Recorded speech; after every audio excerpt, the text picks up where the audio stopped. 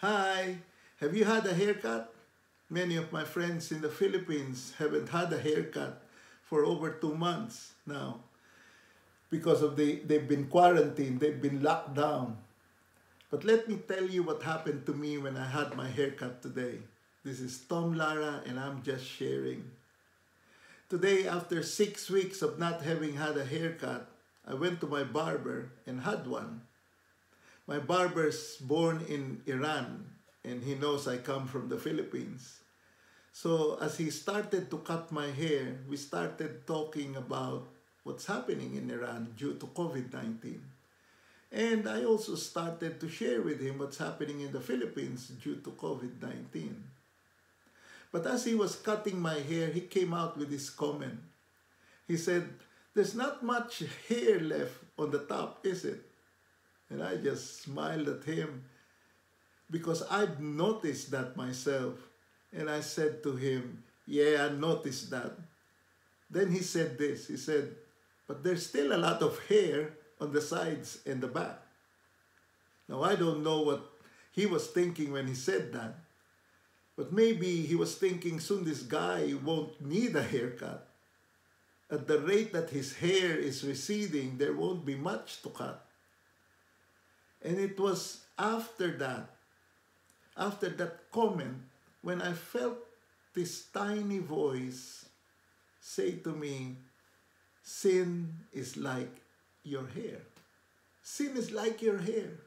You see, I had been praying the whole morning about what to share with you today. And so that got me thinking and praying about what that tiny voice said. And so I started praying and saying, Lord, why is sin like my hair? What do you mean by sin is like my hair? And as I was reflecting, this is what came to me. the first thing that came to me was this that sin grows. Sin grows. Sin is like my hair because it keeps growing. It will get longer.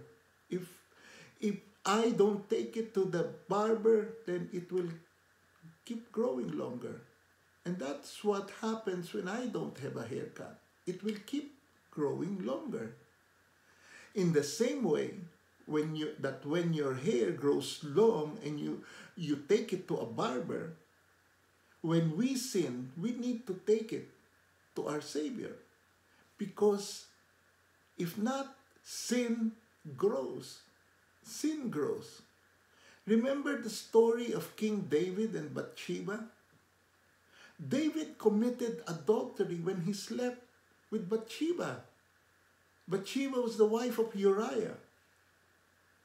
And then, when he found out that Bathsheba was pregnant, rather than cut off the sin, he orchestrates the killing of Uriah. Hey, sin grows. It grows when you don't cut it off. When we don't cut it off, sin will continue to grow. So ask yourself this question When was the last time you received the sacrament of reconciliation? When was the last time that you confessed that sin? Is there sin in your life right now? The second thing that came to my mind is that sin can be colored. Sin can be colored. Sin is like your hair because you can color your hair at any time. Nowadays, you have so many choices of color for your hair. And in the same way, we can also color our sin. What do I mean by coloring our sin? We color our sin, one, when we make excuses for our sin. When we say things like, I did it because everyone else is doing it. We color our sin and make excuses. We color our sin when we deny the seriousness of our sin. When we deny the seriousness of our sin. When we say things like, it's just a white lie. It's, it's really coloring the sin. Hey, whether it's white, red, or blue, it's still a sin. And then we also color our sin when we blame others for our sin. Remember what Adam said to God? He said, The woman you put here with me, she gave me some fruit from the tree and I ate it. So rather than admit and confess that he had sinned by eating from the tree of the of the of the knowledge of good and evil, what did Adam do? He blamed Eve, but not only Eve. Think about it. He was blaming God because he said the very first words he said was, "The woman you put here with me, it's your fault. You put this woman in here for with me." So we color our sin when we blame others for our sin. The third thing that came to me from that tiny voice was this that sin has consequences. Do you know that when you don't cut your hair, it dies after a time?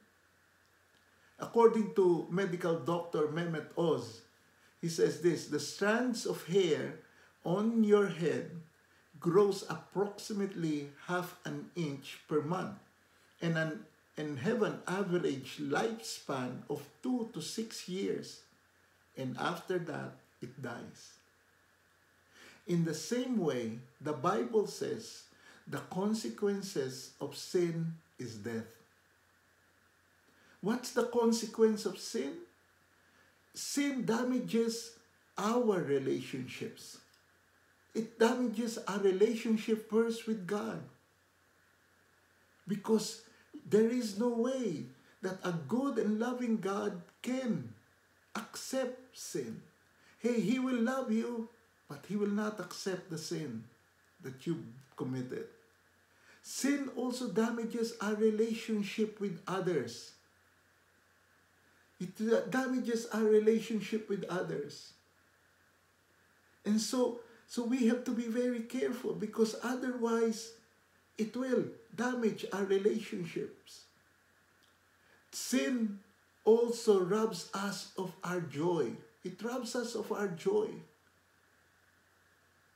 You see, when you sin, you think that there is no consequence, but the reality is that deep inside it's robbing you of your joy. And not only of your joy, sin also robs you of your peace.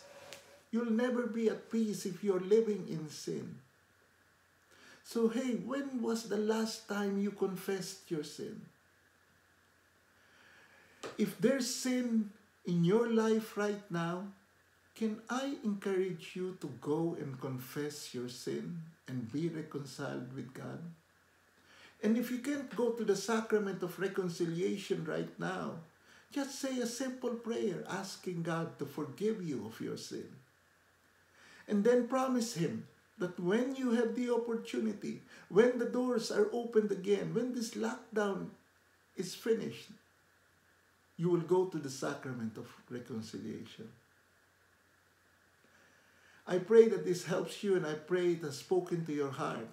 And I pray that you will cut out sin from your life if there is sin in your life right now. Let me pray for you now. Heavenly Father, I pray for every person who's watching this video right now. And I pray, Lord God, that you would reveal to them, reveal to them, Lord God, any sin that they may have committed, any sin that they may have been coloring.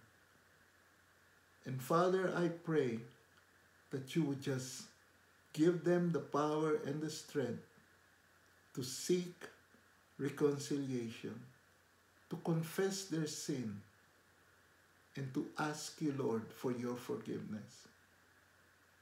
And Lord, I pray for all of their needs. I pray that you would minister to them, Lord God, and that you would minister to all of their needs. In Jesus' name, I pray. Amen.